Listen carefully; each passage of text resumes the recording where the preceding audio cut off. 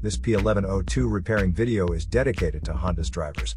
If your Honda is getting a P1102 error code, this video is going to show you two practical solutions to fix the error code at home. Use the ZUS app to scan your vehicle and see the error code P1102. The code is stored when the voltage coming from the MAF sensor to the powertrain control module is low but within range.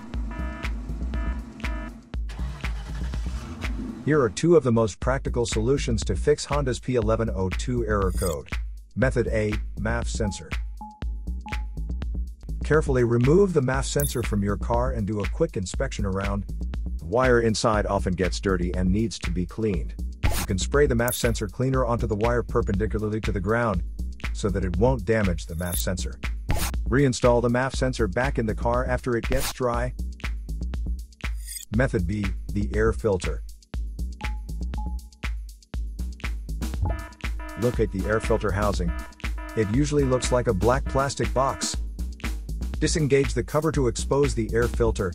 Be careful not to dislodge any hoses or stretch any wiring when you do this. Remove the old filter carefully. Pay attention to the orientation of the filter as it comes out of the housing. Clean out any excess dirt or debris inside the compartment before installing the new filter. Follow the orientation of the removed filter, and put the new filter in place. Make sure the outer seal is seated properly before closing the cover. Close the cover and replace the clips and screws.